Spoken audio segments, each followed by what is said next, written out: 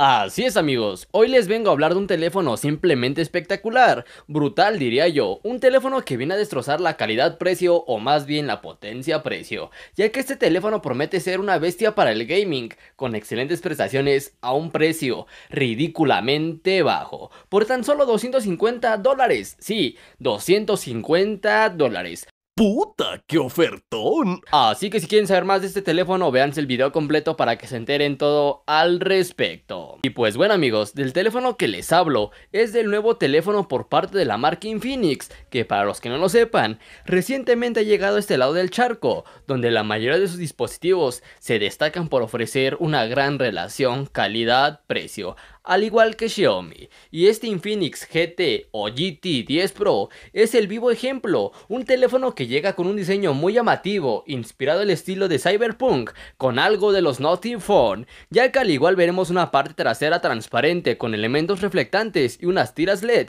personalizables del lado de la cámara, donde nos será útil para las notificaciones, entre otras cosas. Pero dejemos esto a un lado y pasemos a hablar sobre lo que verdaderamente hace brillar a este este teléfono. Sus características, donde vemos una pantalla AMOLED Full HD Plus de 6,67 pulgadas, la cual además esta pantalla es de 10 bits, lo que ofrece una mejor calidad de imagen, colores vivos y negros profundos. Y sí, vemos una frecuencia de actualización de 120 Hz con una frecuencia de muestreo táctil de 360 Hz, lo que significa que la pantalla es más rápida, fluida y responde mejor a nuestros toques, lo que se traduce en español a una experiencia pues fluida y precisa especialmente al jugar o navegar. Lo bueno es que también integra de la atenuación PWM de alta frecuencia de 1900 Hz, que reduce el parpadeo que puede causar fatiga ocular y con la certificación Tomb Raider garantiza un menor nivel de luz azul dañina. Pero lo más importante de este teléfono se encuentra en su procesador, donde vemos del MediaTek Dimensity 8050, un chip de 6 nanómetros la cual se acompaña de 8 GB de memoria RAM y 256 GB de almacenamiento interno, siendo las tecnologías LPDDR4X y UFC 3.1 respectivamente. Que en general este SOC es reciente y se puede considerar de gama alta, que para que tengan una mejor noción alcanza los más de 800 mil puntos en Antutu, que para el precio que se mueve es simplemente excelente el rendimiento que se tiene, ya que en general se comporta realmente bien en el día a día como a la hora del gaming, que en combinación con la pantalla se disfrutará pero demasiado. Y no hay de qué preocuparse por nada porque hay un sistema de refrigeración por cámara de vapor y una función de carga directa que evita que la batería se sobrecaliente cuando jugamos mientras cargamos el teléfono. Así que de cierta manera está enfocado al gaming como tal y así nos deja saber la propia marca. Y esto porque también la batería es otro punto fuerte de este Infinix GT o GT 10 Pro, ya que tiene una capacidad de 5000 mAh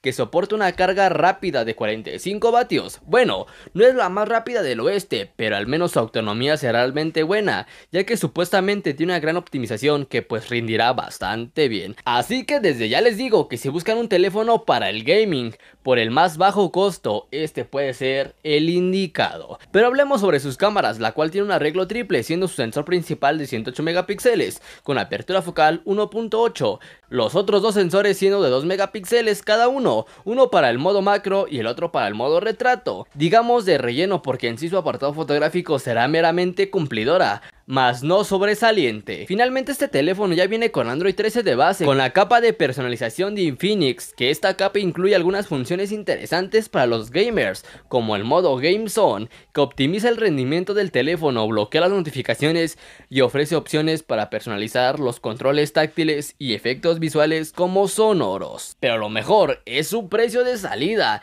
que en verdad es brutal por lo que nos ofrece, ya que es un aproximado de 250 a 290 dólares, lo que lo convierte en uno de los teléfonos más baratos, más baratos, potentes, con grandes características, el cual no prescinde del jack para auriculares, los altavoces estéreo como la calidad de sonido, aunque sí un poco en cámara, que no está a la altura de otros modelos por un precio similar. Pero bueno amigos, hablamos de un teléfono enfocado al gaming y más siendo barato es perfecto. Lo que si quieres cámara, pues vete por un Pixel 6a y listo, asunto arreglado. Pero díganme ustedes qué les parece este teléfono, ¿se lo comprarían? Los leo en los comentarios.